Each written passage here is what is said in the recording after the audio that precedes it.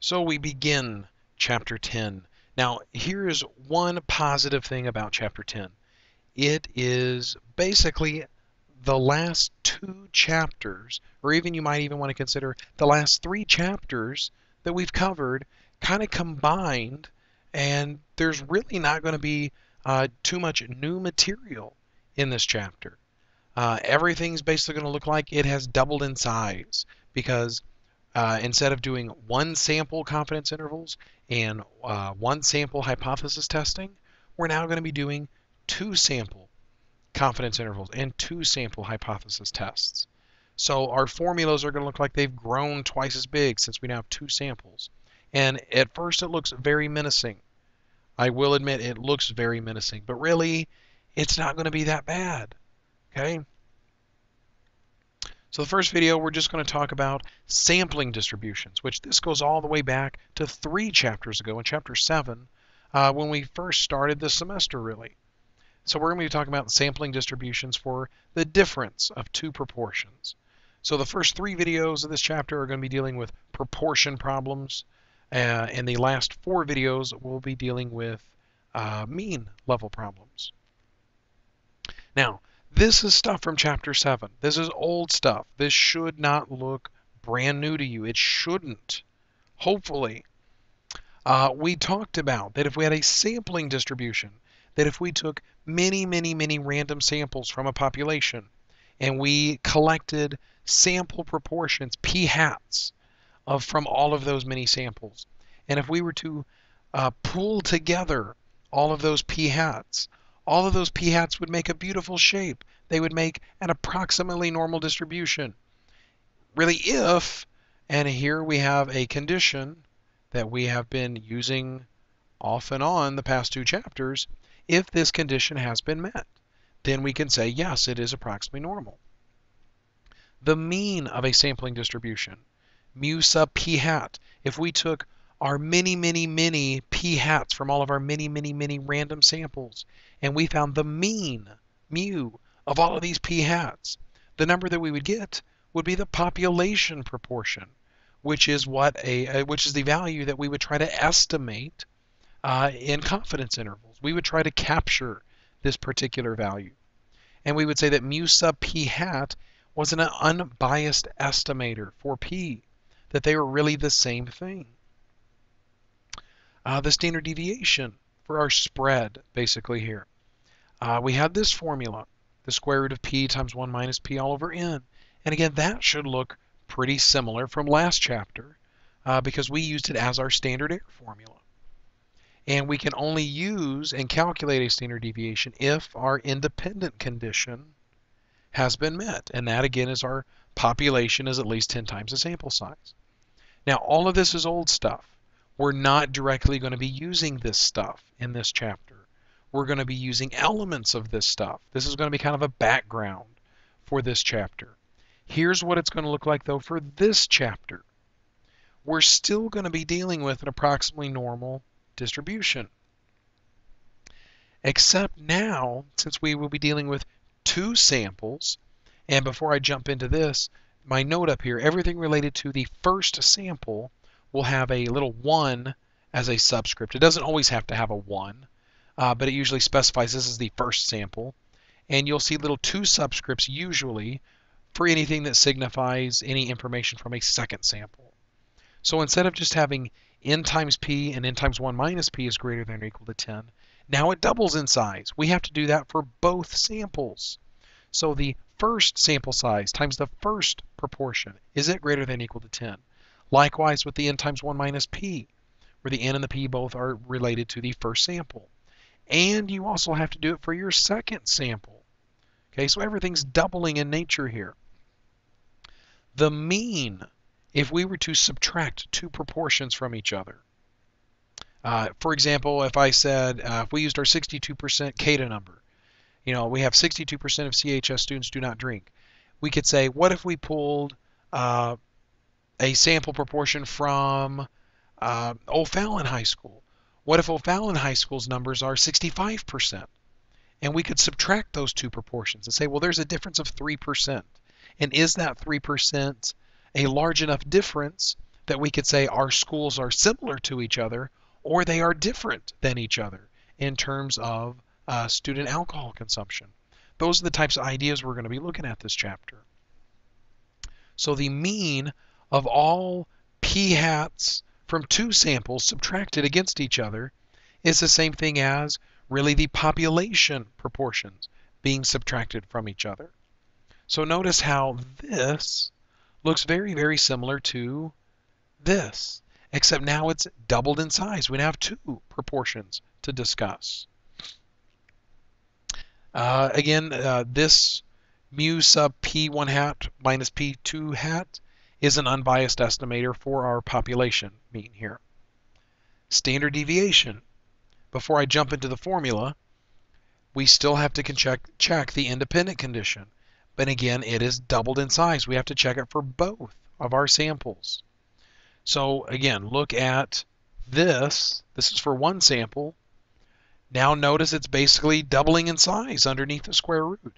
We now have two of those, one for each sample. So these are the things we're going to be using for this section. And then we're going to be using basically these things whenever we talk about confidence intervals and hypothesis tests. So the one example we're going to look at together says 46.6% of CHS students are considered low income by the state. 94.5% of ESHS students are considered low income by the state. A random sample of 200 CHS students and 200 ESHS students was taken, and the difference of P1 hat minus P2 hat from the samples yielded a result of negative 53.6%. Now we are referring to CHS basically as our first sample and uh, ESHS as our second sample. So it makes sense that if we were to subtract, you know, we would expect 46.6% CHS and 94.5% ESHS, that if we subtracted a smaller number and a larger number, that we would expect a, a negative value, which is what we got here. Now, could we have written it backwards and said P2 hat minus P1 hat? Sure, we could have. It can really go either way. It depends on if you're okay with dealing with a negative difference or if you're only concerned about positive differences. It can go either way. So number one, we're going to talk about shape, center, and spread of our sampling distribution of our P1 hat minus P2 hat. Okay, if we were to take many, many, many random samples of size 200 from each school and from each calculate a p hat and subtract those numbers and do that over and over and over again. And if we were to stack all of these differences of our sample proportions, we're going to hope for an approximately normal distribution. But first we have to check, oh my gosh, all four of these. So we need to check is N1 times P1 greater than equal to 10 etc., etc., etc., etc. So it's going to take a little while to write all these down real quick. So then we test each one. So for the first one, our, so again, keep in mind our first sample is CHS students. So in, in really all four of these cases will be 200 because we have the same sample size. And then P1 is our population proportion. This is for all CHS students, is 0.466. Now, I didn't tell you what the sample proportion was that we got from our 200 students because it's irrelevant. We don't really need to know that specific number. Now, these two numbers multiplied together is 93.2, which is check greater than or equal to 10. And then if I take 200 mi or times 1 minus 0.466, I get 106.8, which is greater than or equal to 10. Check. Now I've got to use my second sample values for ESHS. So again, my N is 200.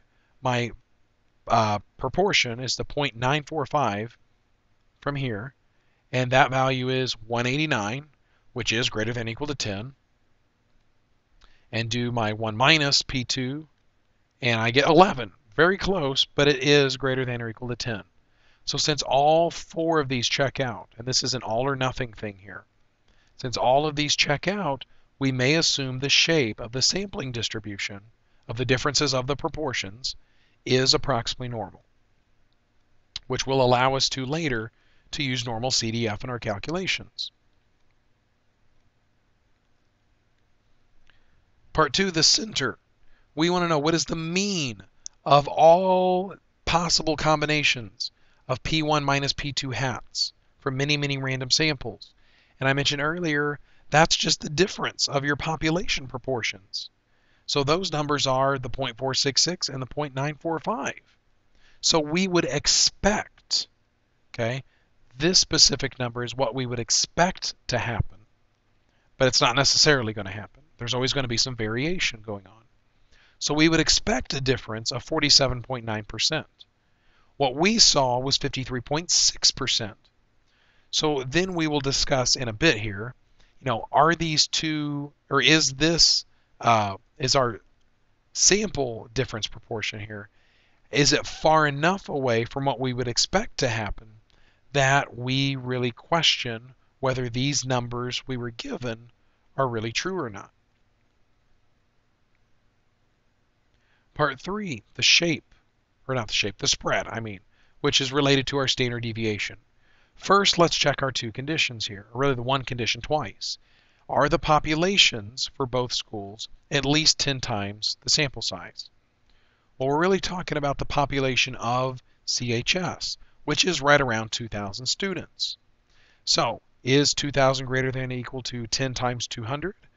Yeah, it, this is really the exact minimum we would need to see here. It is equal, so this does check out. Now the population of ESHS is 2,500 students. Okay. Now you would need to be, you would have to be given this information. Uh, basically, I'm telling this information to you now at this point. So 2,500 is in fact greater than or equal to 2,000. So these two conditions have checked out. Therefore, we may calculate the standard deviation. So here is that big crazy formula, which I've already plugged the numbers into. Now again, the big crazy formula was our P1. P1 times 1 minus P1 all over N1 plus P2 times 1 minus P2 all over N2. And I've plugged in all of those values here. And you can put this into your calculator all in one shot. And you should, and you might want to double check just to make sure you get this number, that is the standard deviation.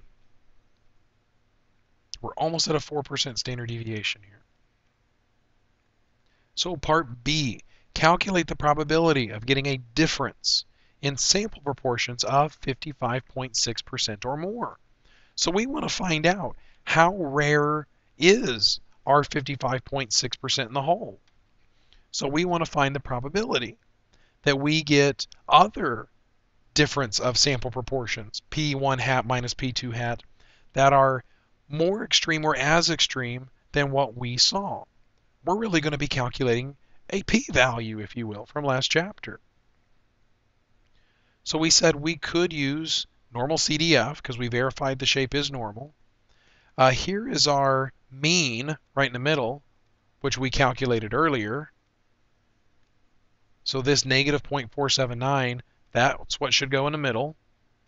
Uh, my 0.556 here, I just kind of estimated it's a little bit more than two standard deviations away. So I put it a little bit beyond two standard deviations below. And I want to shade in the extreme area here. Now, if I look at my picture, my lower bound is negative infinity. My upper bound is my sample proportion difference here. Here's my mean, and here's my standard deviation. And I get an answer that is 0.02354. So what I saw happen only happens a little over 2% of the time. When I would expect or assume uh, negative 47.9% should happen. So, Part C. Does the result in Part B give us reason to doubt the percentages reported by the state? Now, again, what we just calculated was a p-value. And if we put it up against an alpha value of 0.05, then we would reject basically the null hypothesis that those numbers are correct. Uh, our alternate hypothesis would be basically that the numbers are not correct. So we would have reason to doubt the percentages reported by the state about the low income levels. You know, uh, is the 46.5% and the 94.5% are those really actual values? We would hope so that the state wouldn't lie to us about such things, but based on our uh, random samples of 200 each, it seems kind of doubtful that maybe those really are the actual percentages.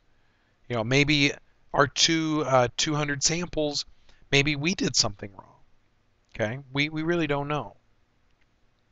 So we could have made a type 1 error in this case because we were saying we're basically rejecting the null hypothesis in favor of the alternate. Uh, so maybe we committed a type 1 error. We don't really know. So here's the one problem I want you to look at and try and bring to class the next day. We will go over it together. Again, it is very important that you guys practice and get better at doing these problems.